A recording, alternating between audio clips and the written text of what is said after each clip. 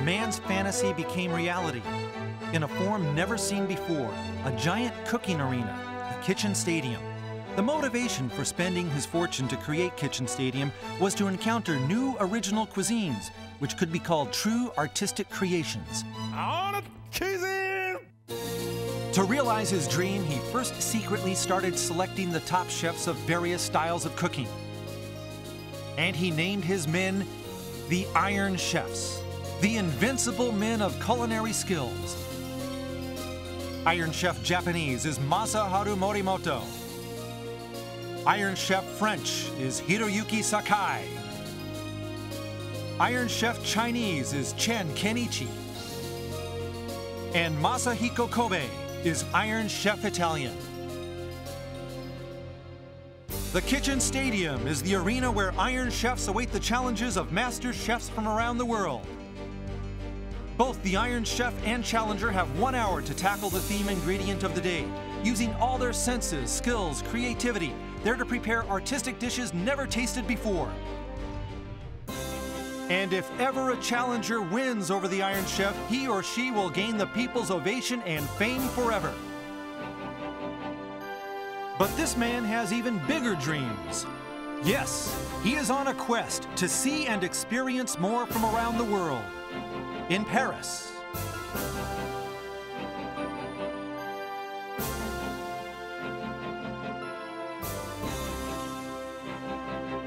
In Beijing.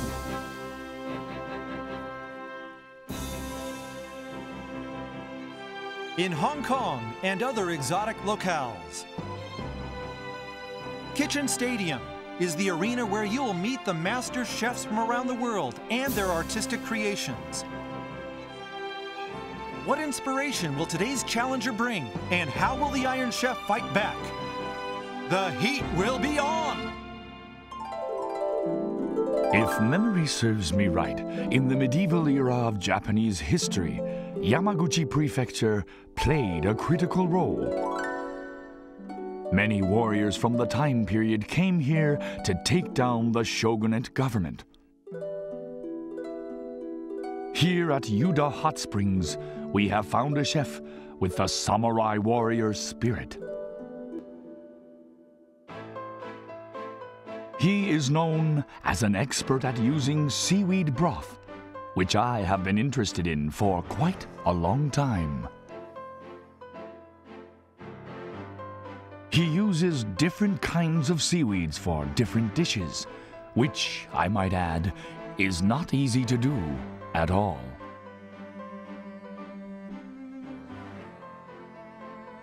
He says that the broth is the key to the success of any dish, and I just had to try it for myself. Today's challenger, the conjurer of seaweed broth from Yuda Hot Springs in Yamaguchi, Takeshi Kajimoto. He started his career at age 18 at a top restaurant in Osaka. There he learned all the basics of preparing broth. He quickly climbed to an important position at that restaurant. And at 28, he was hired by a top hot spring hotel, Tokiwa, in Yuda Hot Springs. Kelp seaweed for taking broth are all very different by where they come from, and the way you use them gives you totally different results in the dishes that you make. Kajimoto seems to be on a constant quest for new creations, using his broth-making skills as a base. So now, Kajimoto, show us the true way of using seaweed broth and take down the Iron Chef. This is not a show, it's a contest.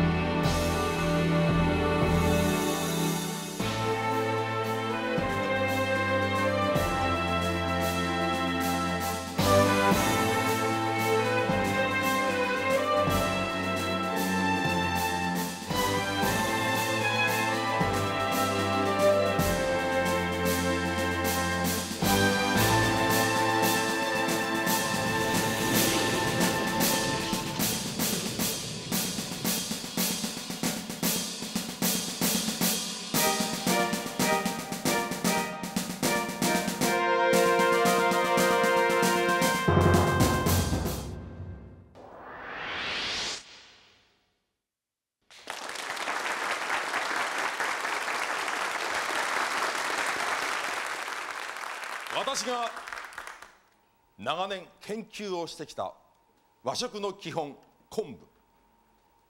そんな昆布を使いこなし出汁にこだわる昆布使いの名手がようやく見つかりましたさあ皆さん大きな拍手でお迎えください。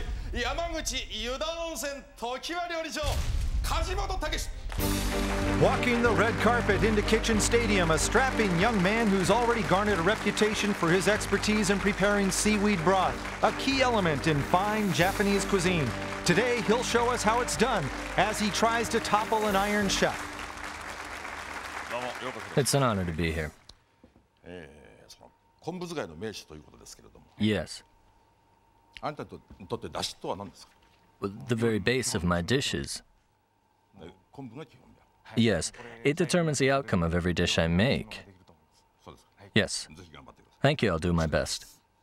それでは、えー基本をしっかりと押さえているうちの鉄人たちを登場させましょうよみがえるアイアンシェフ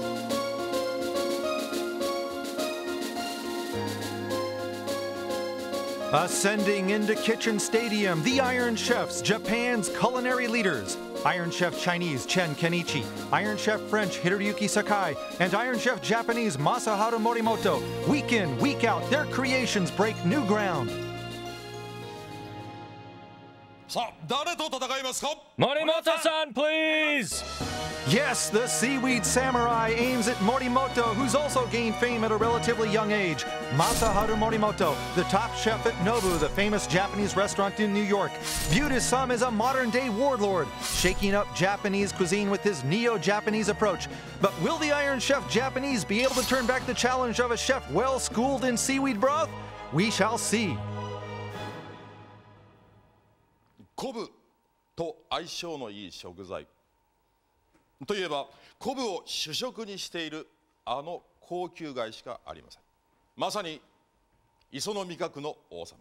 特に今日は地元では象の足と呼ばれる超大物まで揃いました。それでは発表します。今日のテーマはこれです。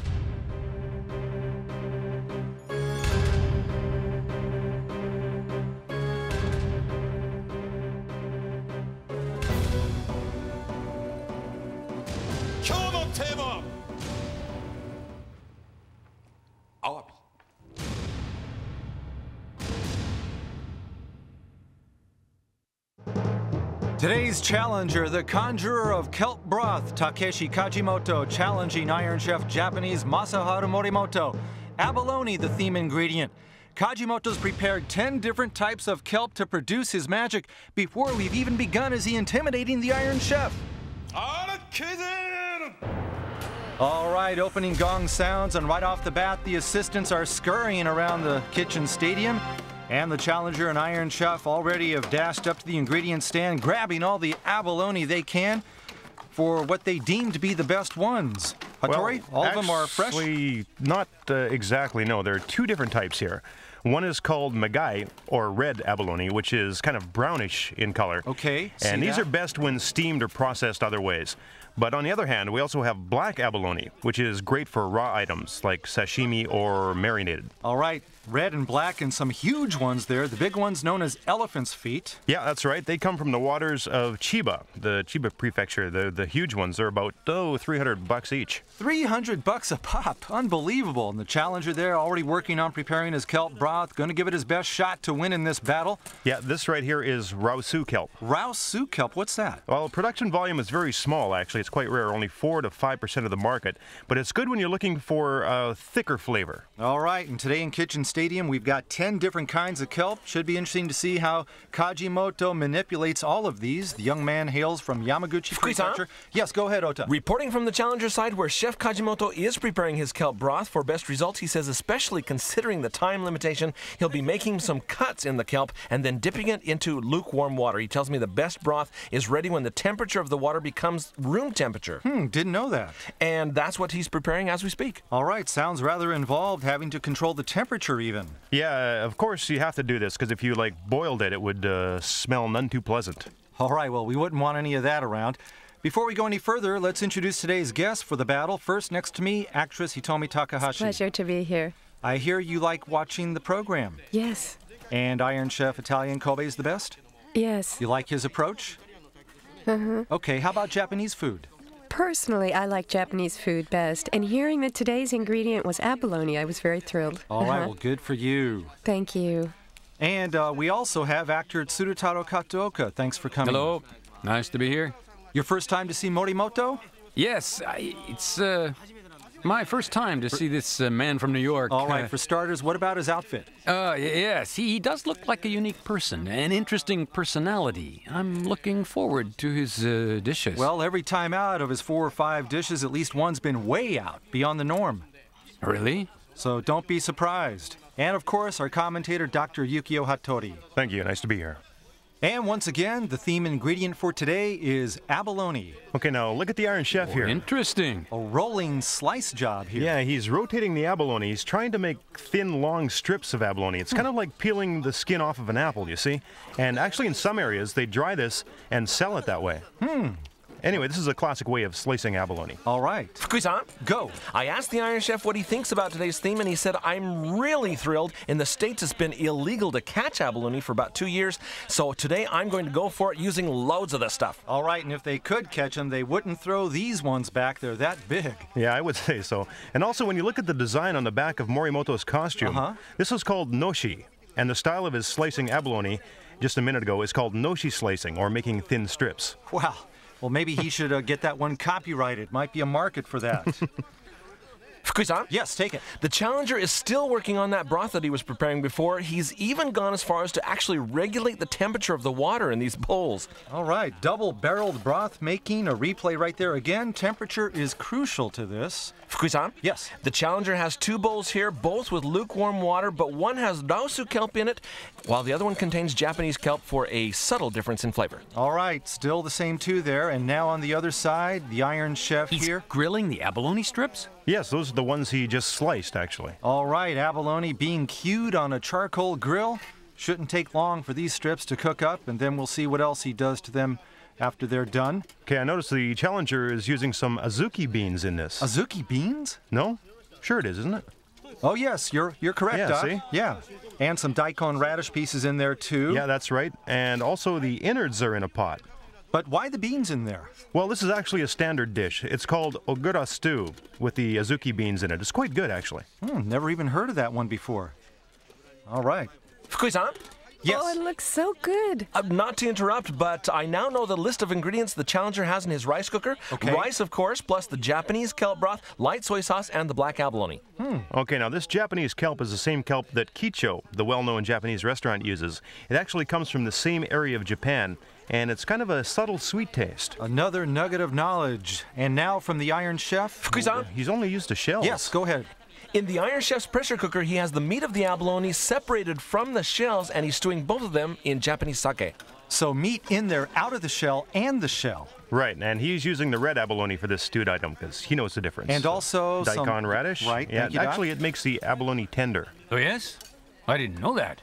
Yeah, and now he's grating abalone. Oh, what is this called? This is called tororo awabi, or grated abalone. Hmm. This is really something, actually. You should try it. Oh, so luxurious. Wow. All right. 15 minutes have elapsed. And 15 minutes gone already. The grated abalone is almost like a paste in the Iron Chef now. These are the barbecued strips of abalone. Fukui-san. Yes, go ahead. In this pot that we're looking at, the Iron Chef has the grilled abalone strips, and he's going to boil them in just plain old water. Abalone alone could make a great soup. Maybe he'll do that, I guess. Yeah, well, chemically speaking, the succinic acid is what tastes good. All right. And now the Fukui-san? challenger with the milk. Yes. Here in the Challenger's pot, we have butter, flour, and milk being blended together. Hmm. That's simple enough. And check it out. He's trying to have a dish with a Western touch in his lineup to compete with Morimoto. Maybe a gratin. All right, we'll see. And now on the Iron Chef. Ooh, nasty. Okay, here. this is a pike eel. Spiked pike eel. Pike eel is a delicacy of summer here in western Japan, and summer is actually the best time for this fish. Well, it wasn't for this one. And speaking of Western Japan, the big boss man of Osaka, Toshiro Kandagawa, is up in the royal box. How'd he get in? And boy, is he prepared with binoculars in hand. He's even taken notes. Now on the challenger side, Okay, it's the same. Pike eel is what he's same deal, spiked as well. Interesting. Same ingredient. Now, I think what he'll do is use this for a stew or something along those lines, together with the abalone.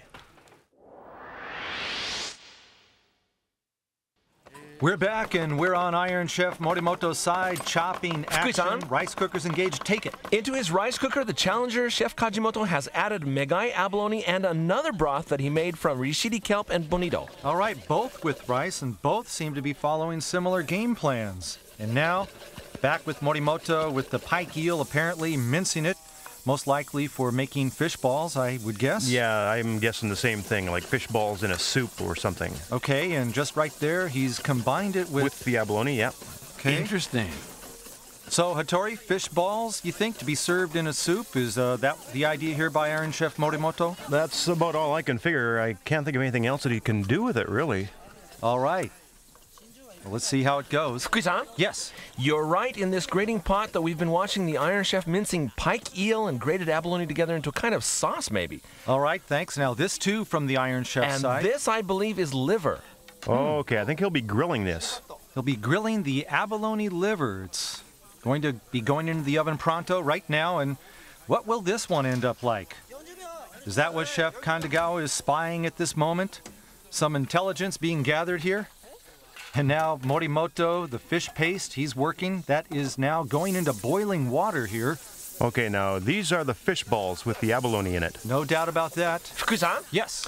These are a kind of dumpling made from the mix of grated abalone and minced pike eel, as well as yams, salt, and soy sauce. And the soup is his own rishiri kelp broth. Hmm. Okay, so he's using kelp broth as well. Sure, he's going to have to go head on against Kajimoto in that department. And now the challenger spooning out something. I think he's got some yams here as well. Yam and abalone, maybe. All right, well, he's hard at work there. 30 minutes gone, 30 minutes to go, entering the second half of the abalone battle. No halftime break. Fukui-san? Yes. Did you see the challenger pasting something on the abalone, the Yes. white sauce? Well, that's also grated yam and pike eel. Okay, Hattori, what's the deal here? Okay, the same approach with the Iron Chef so far, but actually he may steam this instead. Okay, now the Iron Chef does have a steamed item too, steamed in sake for a real change of Yes, taste. he, he did have one. Fukui-san? Looks so good. Yes, go ahead, Ota. In the frying pan, the Iron Chef is adding sake to abalone still in the shell. Ah, okay, right here, a replay. What a will load of it sake in there. That's bold. And some of that abalone still looks like it's alive and kicking, but not for much longer. At least with the sake, it went out in style. And here we've got uh, Butter? Butter, yeah. So it's a steak? Well, they do this in New York. I can't wait. Yeah, abalone steak. Now, normally, of course, they do it with wine, however. So. All right. Well, there's the first connection to the Big Apple from the Iron Chef. Oh. Fukui-san? Yes. The challenger is placing chunks of abalone, which he had previously sauteed in butter, back into the shells, on top of which he is spooning on his white sauce, after which he spreads out on a layer of sauteed potatoes, and to top it all off, he'll cover everything with sauteed abalone like a lid. Wow. Wow, okay, got it. So the challenger here sounds like it's working here a gratin of his own making. Now, the Iron Chef has some wakame seaweed. Now, that's what the abalone lives on. Well, they're coexisting right there in that pan. Fukui-san? Yes. In this container, the Iron Chef is covering everything with wakame seaweed, and the uh, contents are shells, liver, and meat of the abalone, each ingredient separated from each other, all covered with seaweed. All right, and that pan is going into the oven right now, Yeah, into the oven, grilling them as is. but without anything added there for flavoring. Just as is, right? We didn't see him add anything. No. Just the seaweed. Well, maybe Kandagawa caught it. And now here's the grilled liver out of the oven, a sheet of grilled abalone liver. I don't know, would you call that mouth-watering? Well, he'll probably break this into small pieces to sprinkle on Mm, something I else. I think so too. Hope so. And now on the challenger side, going into hot water, it's not boiling, No, not going to grill it. no, you're not going to grill it. This is the grated pike eel and yam potatoes mixed together. Pasted onto abalone. Well, this is leading me to believe that they'll be used in a stew or soup of some sort. Well, with the conjurer of broth, we certainly would expect to see a very good soup, or at least a stew today. Fukui-san? Yes. The abalone that you're seeing here were used only to make the broth. So unfortunately, this abalone meat will evidently not be eaten. Okay, and this is from Just the a Iron broth. Chef, and that's a little different. Not going to use it. That's an understatement. Only here in Kitchen Stadium, Kataoka, would you have the luxury of doing this at 300 bucks a pop. Abalone just for the broth. What a deal for all of us today. Now, what's the challenger doing here? I think he's making these into boats What? For serving Tying- something. A container? Huh? Yeah, a container, a bowl. At least Oh. that's what I'm thinking here. All right, well, he is so well versed in kelp. Challenger Kajimoto, a seaweed boat. Fukui-san. Hope it'll float. Go ahead. Do you remember the two bowls with the two types of kelp in lukewarm water? Yes, sure. He says he's going to keep them that way for a while, taste them later, and use the best of the two for a special broth. Well, that is called hedging your bet right there. Okay, I see. So he has Rishiri and Japanese kelp. Quite the perfectionist. First, getting the best kelp you can find, trying to make broth with two of them, and then choosing the one that turns out best. And that, too, is another kitchen stadium luxury, I'd say. Hey, what, what is going on? With the what? This one? This is one of the guys with Kandagawa. They're making a list of dishes for both sides, it seems. So if you're scoring at home, that's six to four to three. Okay, I've got an idea what's going on here. Kandagawa's doing some advanced scouting. Uh, he's planning to challenge Morimoto sometime in the future. He wants to know exactly how he operates ahead of their encounter. And that should be a good one when it does happen here. Fukui-san? Yes. I spoke to the Iron Chef for a moment and mentioned that I noticed his dishes were pretty standard today. And he said, Right. hey, the people who know abalone best are the fishermen. I'm making items that would please them or anyone else. All right. Well, looking at his dishes so far, yeah, you're right to say that his approach is pretty much orthodox. Yes, it hasn't been the typical Morimoto performance, at least so far in this match. Uh, sorry about that, Kataoka. but he, he looked so different from the other chefs. yeah, but based on what we've seen of Morimoto up till now, today's been a rather conventional approach by the Iron Chef Japanese. Yeah. 15 minutes to go. All right, 15 minutes left, fourth Fukui-san? quarter, go. The crumbs that he's breading onto the abalone with the egg are crushed rice crackers. Wow, not Oh, any okay. regular breadcrumbs, no, crushed rice crackers. Fourth quarter, back with the challenger. Okay, now how is he going to cook this? Grill it? Hmm. Fry it? You know, if he fries it, it's going to look like stuffed crab shells. Well, we'll have to find out about that. Right now, the pressure cooker's been opened with azuki beans inside. What do you think? It'll taste a little sweet? Well, not really, not even with those beans. Oh. And see? He's got pumpkin in there too. So this will be more like a vegetable stew. Hmm. A home style stew? Exactly. Home cooking. Fukui-san? Yes. A review of the pressure cooker contents includes a sheet of rishiri kelp at the bottom, sake, soy sauce, sweet sake, salt, bonito broth, daikon radish, black abalone, azuki beans, and now, as you saw, pumpkin. Mm, but it does sound a bit sweet, you know, an, a natural sweetness. Hold it, home style stew with abalone? yeah, rich family's home style stew. Yeah, Kataoka, invite us over sometime. Fukui-san? Yes. The challenger just told me that this stew in the pressure cooker is actually a local specialty from Yamaguchi Prefecture. Okay, I thought so. And it's called itoko stew. Okay, I've heard of that. Itoko in Japanese means cousins, of course, and it refers to the similarity in sweetness between the azuki beans and the pumpkin, almost like they're related somehow. Ah. Okay. Okay, I never knew that. 10 Okay. minutes to go. 10 minutes left now, so it's a regional specialty. Oh, yeah, I thought it was some kind of local dish where he comes from, something from his neck of the woods. And he is frying something there. Yes, deep frying, in they go. The challenger here. Oh, okay, a croquette. Yes, housed in the abalone shells, croquettes being deep fried. Okay, what this will do, by doing it with this, it'll deep fry one side of it. This is kind of an interesting approach. All right, now let's go back over to the Iron Chef side, shall we? Yes, here we are. He's got some big pieces of liver there. Now, did he cook this in the pressure cooker? I believe so. With the meat and liver. Fukui-san? Yes. Yes, he did saute them in sake and butter first. Okay. Okay. Oh, it's okay. Sake and butter, yeah. Right. So we can call this a steak then, I guess. Okay, now just what's he going to do with the livers? Oh boy, the liver. He'll probably use it like a garnish. As a garnish, aren't they bitter, Duck? Oh, actually, no, not at all. All right. It's creamy. It tastes quite good, actually. Hmm. Okay, now check out the challenger here.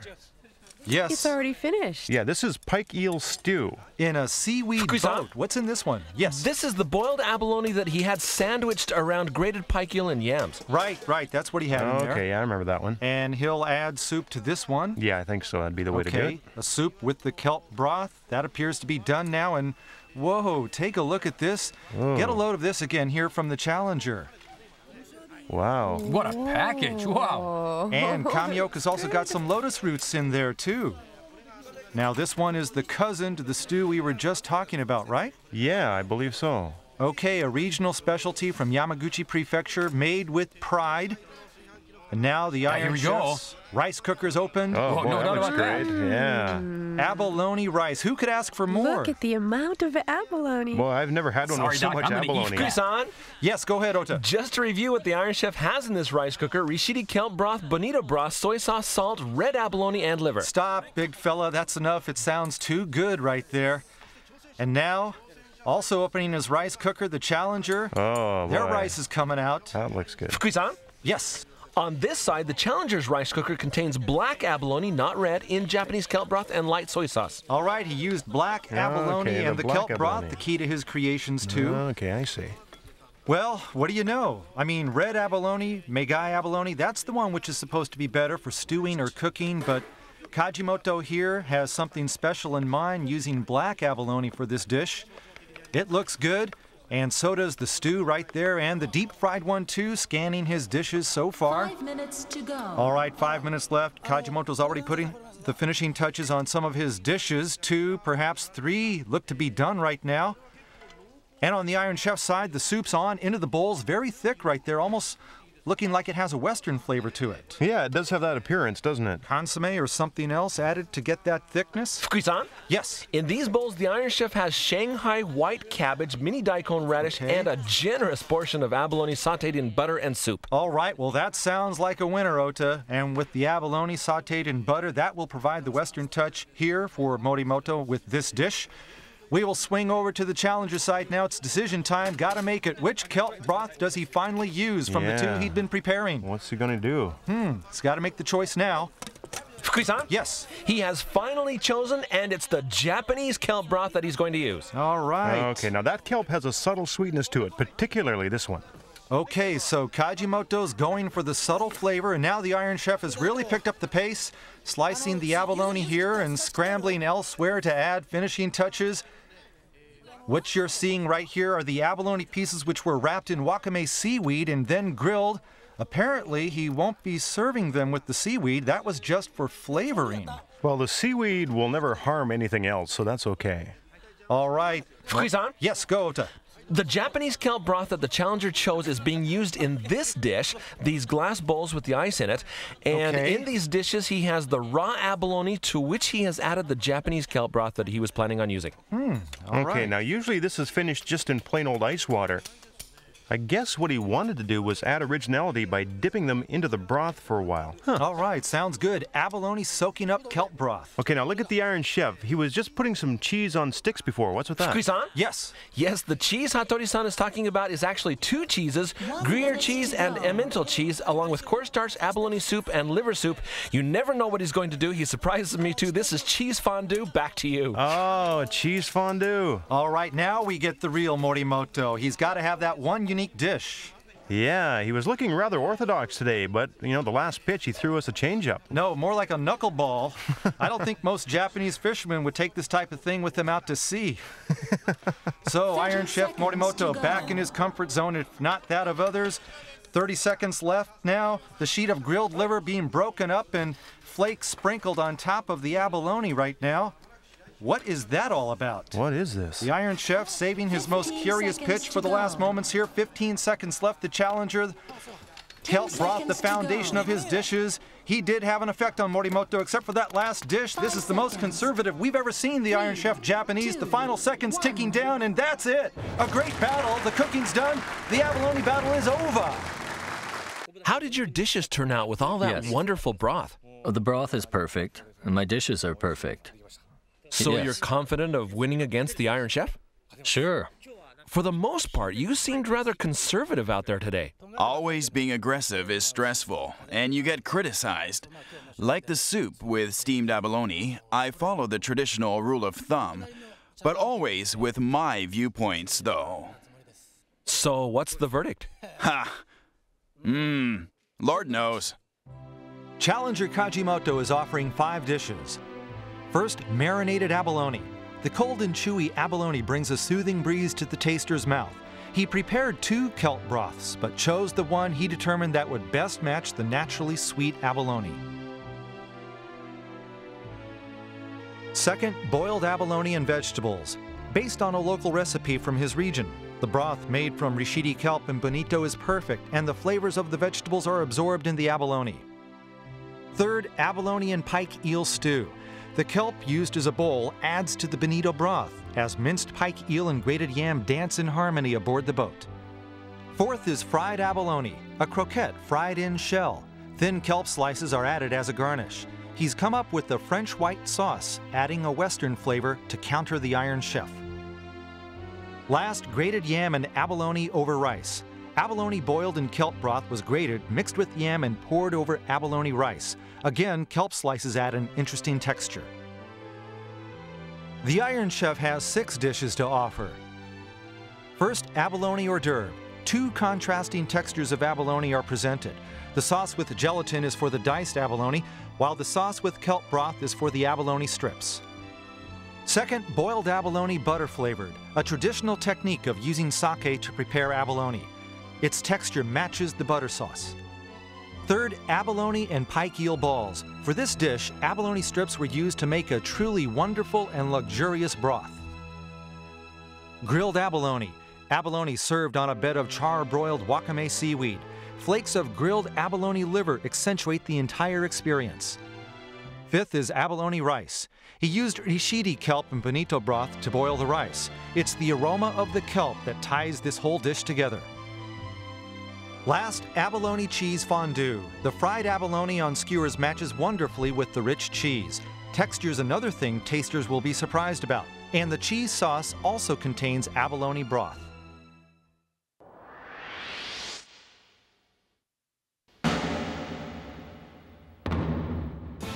Challenger Takeshi Kajimoto derives his inspiration from the sea, the conjurer of kelp broth, essential to exquisite Japanese cuisine. He'll put his best broth forward against Iron Chef Japanese Masaharu Morimoto. Chairman Kaga unveils a theme ingredient well suited to kelp in all its forms. The chefs have their hands full with abalone. The challenger produces a balanced set of five dishes. The Iron Chef answers with six in his most conservative approach to date. And now the moment of truth, tasting and judgment. On the panel today are photographer Tenmei Kano, actress Hitomi Takahashi, actor Tsurutaro Kataoka, and culinary critic Asako Kishi. First, the dishes of Challenger Kajimoto. Well, I needed to make broths very quickly today, so I used many different techniques for each dish that I had in mind. Uh, This one uses Japanese kelp. It's one of the best types of kelp. This is really so very delicate. I'm enjoying the subtle aroma of the kelp broth. Thank you. This liver and vinegar sauce, using too much could be too heavy, but with just enough, it's fantastic. This is a perfected abalone recipe, I think. Very sophisticated. It's very well done. His second dish, boiled abalone and vegetables, is sliced up for serving. What I did here was I added abalone to a local recipe that I like to prepare often.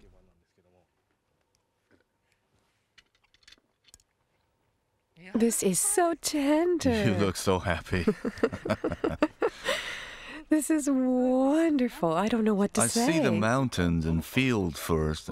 As I'm eating, I start to hear the voices of the ocean as well. That's how I feel as I'm enjoying this. This is not too sweet. It has a subtle sweetness. It's very sophisticated, I think. If I had more time, the kelp broth would become even better. The aroma is very nice. It's a little sweet, isn't it? Ah, yes, I added new onions in it. Huh? The onions are adding yes. sweetness? I don't like the onions in this. Mm, it they make it too mild in my opinion. But I like this. It's a subtle and nice flavor. Very good. Well, I'd like to thank this program for letting me use this much abalone and kelp. Really wonderful. Thank you, ma'am. The grated abalone on top. I've never had this before. I- I'm just trying to say this makes me so Thank you. happy. This is called grated abalone sauce. This alone, without the rice, could qualify as a side dish for drinking sake. It's uh, very nice. He brought the rice at the end to to close everything nicely. It was a very enjoyable combination. I really like the tender texture of the abalone in the boiled dish. So tender. It Made me really Thank you. happy. His dishes confirmed that preparing kelp broth is no easy task. His arrangement of the courses were very sophisticated. I enjoyed them thoroughly. And now, Iron Chef Morimoto's dishes. On the U.S. West Coast, abalone fishing has been prohibited for over two years, so I haven't been using it. The Japanese abalone I use today is also different from the American one in aroma and taste. Even more than the abalone, the sauce is very good. The taste is very good, but it's a bit tough, isn't it? Tougher than I thought. I say this perhaps because I have been enjoying the splendidly tender ones that the Challenger has given us. I don't think so. It doesn't bother me so much. I enjoy the chewy texture. I guess I'm getting old. I like the texture of this dish. The pike eel and what else is in this? Well, I've added lotus roots. Ah, I really like the crispy texture. Don't get me wrong, I don't have anything personal I against know. you, but I think this is a bit too salty for a boiled item. The flavor is like that of a clam soup, don't you think? The saltiness of the seafood is probably adding to the salt he used. I grilled the liver and sprinkled it on top. Yes. This will remind you of the ocean. It's very simple and and so good. Thanks. Perhaps this is the best way of enjoying the original flavor of the dish. Orthodox? Mm. Not in particular. This is not abalone rice, it's rice grains among abalone chunks. This is uh, my first time to try his dishes. Uh, my impression of the Iron Chef is that he's uh, quite an orthodox chef, and some people have been telling me that he will shock me with his dishes, but uh, I didn't find that, uh, you know? The Challenger had a similar dish. I can't help comparing the two. This dish alone is perfected and very good, but I remember the Challenger's dish and I start comparing.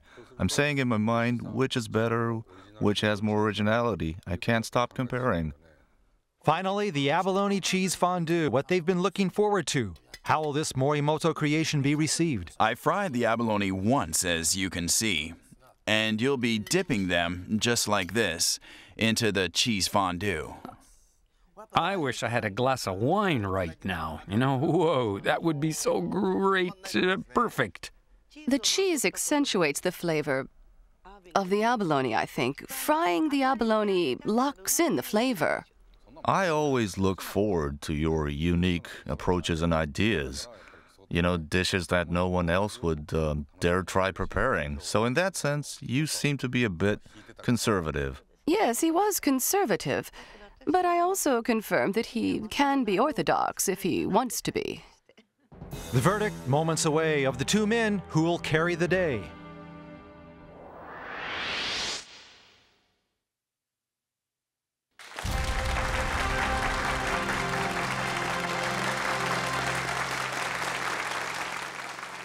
種類の昆布を使い分けアワビとの見事な調和を見せてくれた今日の挑戦者 日本料理における出汁の意味を教えてくれました。それでは発表します。$10,000 worth of abalone. That's what was used in Kitchen Stadium today. The challenger, an expert in making kelp broth and using the best seaweed for it, has proven himself to be a worthy competitor for the Iron Chef. Against Kajimoto and with this theme, Morimoto had to pull back from his usual creative explorations. Will that cost him in the end? It's time to know who takes it, whose cuisine reigns supreme. It's Kajimoto! The challenger wins it! And look at his entourage. A huge win for the young man from Yamaguchi Prefecture. He has cut down the Iron Chef thanks to his expertise in preparing perfect broth. All his training and hard work have paid off big time, earning him a shocking upset today over Morimoto. All right, check the scoring. Kano, 18-16 the challenger. Takahashi, 18-17 the challenger. Kataoka, 20-19 the challenger. And Kishi, 18-16 the Iron Chef. Challenger Kajimoto takes it 3-1 over a stunned Morimoto. The conjurer of kelp broth, the right kelp for the right dish, working his magic, comes through in the biggest moment of his career. Takeshi Kajimoto defeats the Iron Chef. The challenger's rice was just uh, awesome. That was the key. It never left my mind, you know? The abalone was tender and perfectly flavored, though subtle. I was very moved.